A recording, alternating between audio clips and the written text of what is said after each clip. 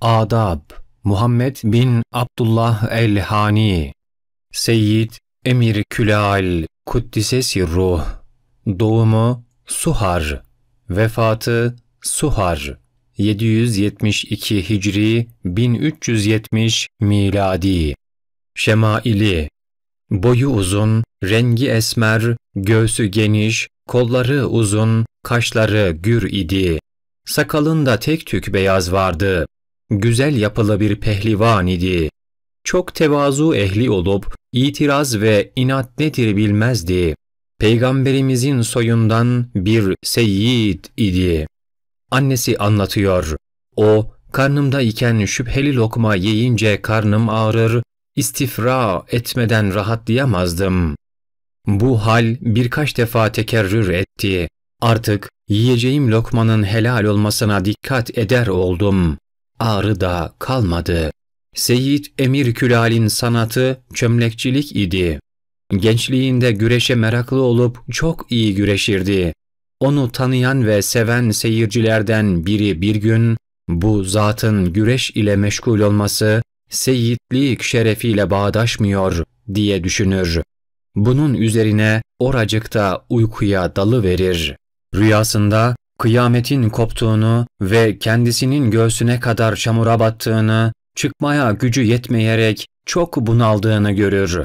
Bu anda öteden emir külal yetişerek kolundan kuvvetlice tutar ve bataklıktan kurtarır. Adam uykudan uyanır. Bakar ki güneş sona ermiş, emir külal ona doğru geliyor.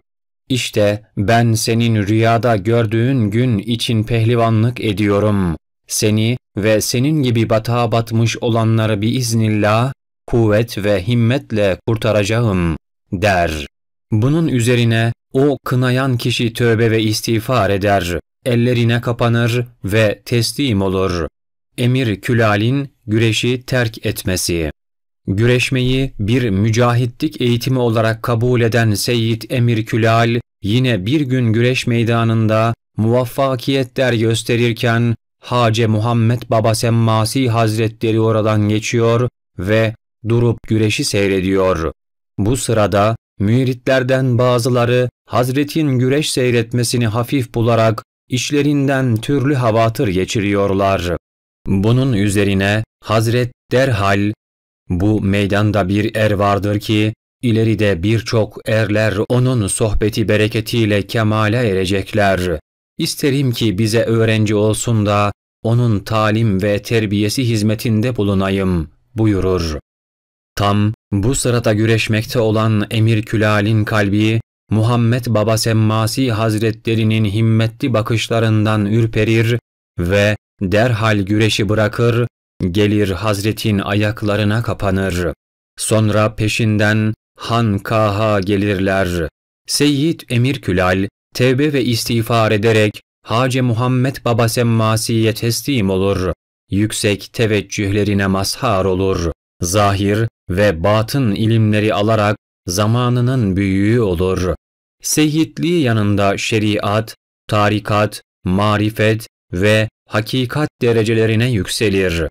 Seyyid Emir Külal'in dört oğlu ve dört halifesi vardır. Her bir oğlunu bir halifesinin yanına hizmet ve terbiye için verdi ve güzel yetiştiler.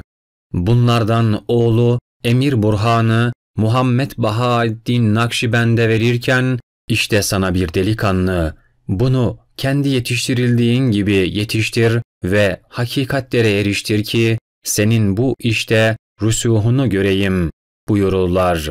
Hakikaten birkaç sene sonra Emir Burhan'ı Muhammed Bahaeddin'in babasının huzuruna getirdiğinde hallerini güzel buldu. Oğlu için Emir Burhan tarikatta hüccetimiz, hakikatte burhanımızdır buyurdu.